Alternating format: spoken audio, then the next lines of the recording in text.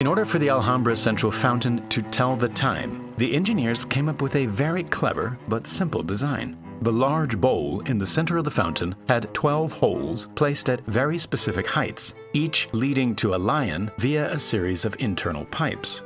A central pipe would fill the bowl at a slow and constant rate, causing the water level to rise and activate the lions one by one. The holes were so precisely calculated and the water supply was so constant that it would take exactly one hour to reach the next hole. After 12 hours, the bowl would be full of water, and a clever siphon inside the bowl would reset the system naturally.